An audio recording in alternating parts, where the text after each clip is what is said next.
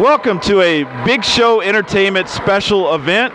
I'm Super Dave Raines for Super Dave Raines and the Big Show, and we are on location at MileHi Con in Denver, Colorado at the Hyatt Regency, and I am here with Wa- Robert uh, Williscroft. Well, that's a mouthful. Uh, author, and uh, that's what uh, MileHi Con is all about. It's a literary con. So, uh, Robert, welcome to the show, and thank you for being on the show. Thank you very much. I appreciate it. So, tell us about your work. I currently am writing hard science fiction. Right. It's based on reality, based on current science and current technology, current engineering, Right. and looks just a little bit into the future. Right. My most recent book is called Slingshot. It's the story of the construction of the world's first space launch loop, a way of getting into space without using rockets, no pollution of the atmosphere, no expense of, of the uh, high expense rockets, and you can, you can lift materials into space very inexpensively. And this is the story of its construction, the men and the women who actually build it in the next couple of decades. Yeah, that's amazing. So, uh, especially the uh, launching into space without uh, using a rocket. It's a, is it? Did you say it was kind of like a space orb? kind of like a space elevator. The uh, a space elevator takes a satellite and puts it in geosynchronous orbit so that Right. it rotates over the same spot on the Earth Right. and drops a cable down to the surface of the Earth, and then elevators can ride up the cable. The problem is we don't have any material that is strong enough to carry its own weight from geosynchronous orbit. Right. But a space launch loop uses the same fundamental concept, but the height of the point that the elevator goes to is only 80 to 100 kilometers up. Right. And the structure is designed in such a way that it maintains itself at that height. And then, then you can run a, uh capsule up the elevator and then launch it along a track. Uh, it's, a, it's a ribbon of iron that moves at about 13.7 kilometers a second, very, very fast. And it attaches itself magnetically and slips down the track and then gets lets go of it and launches when it reaches the correct velocity and the correct point. Wow, that's amazing. So, how much of this is based on uh, real science? 100% of it. So, with with that being said, what do you think are the possibility that, say, Elon Musk at SpaceX might be working on something like this? Well, Elon is working on something different, which is rocket travel and Right. trying to lower the cost of rocket travel. Right. But Elon's not an idiot. You know, he's a smart guy. Right, Absolutely. And right now, uh, building a space launch loop would cost billions of dollars, right. and it's not cost effective yet.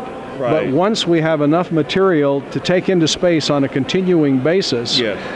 The cost of a space launch loop per kilogram drops way below the cost of a rocket per kilogram, and guys like Elon Musk will be looking at it and may very well end up funding it. Wow, that's amazing. So, do you think do you think the space program is better served to stay with NASA or to go more to free market? I strongly suspect that if we had been free market to start, that we would probably have a colony on Mars right now. That's amazing. That is amazing, folks. So, I think I'd like to visit Mars. but it takes a long time to get there and get back. Well, you know, again, the way we're doing it right now, yeah, I agree. It takes a long time because what we do is launch a spacecraft and then we let it coast. If you've got the sun here, the Earth's orbit here, and Mars's orbit here, and you launch from Earth and you go all the way around to where Mars will be when you get there, Right. that takes a long time. Yeah. But if you have the necessary fuel or some other means of, of propelling your craft, you can go straight there. And in my second book, the Starchild Compact, they use something called a VASIMR engine, which allows continuous, nearly continuous acceleration. And with enough, enough of the proper kind of fuel, you can get there in just less than a week. Wow, that's amazing. Well, uh, Robert, uh, tell us about what you're working on next. And uh, are you enjoying yourself at this con? Well, to take the second question first, Okay. I'm having a lot of fun here at the con. All right. Sitting sitting over there with my books and watching all of the pretty girls walk by in their Absolutely. in their exciting costumes is fun. Yeah. Uh, but uh, on a more serious note, Right. um, my, my second novel, The Starchild Compact, my second science fiction novel, Right. um, deals with the political situation on the earth as it is now, but projected into the future. Right. One of the elements is a Persian caliphate, a nuclear armed Persian caliphate. Wow. And uh, the book I'm working on now goes a step further into the future and looks at a global jihad where militant Islam is in the process of taking over, conquering the entire planet. S- The United States balkanizes into smaller sections, Yeah. and only a few end up surviving with integrity. Right. And the subtitle, uh, the, the novel is called The Iapetus Federation, and the subtitle is Exodus from Earth.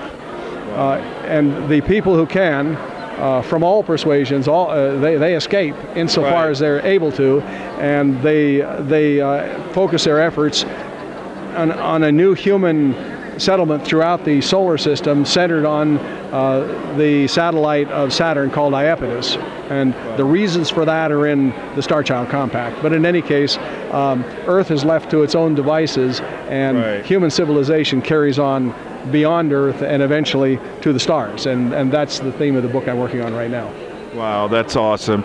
Well, Robert, thank you so much for appearing on Big Show Entertainment Net- Network. Uh, Super Dave Raines and the Big Show here on location at MileHi Con.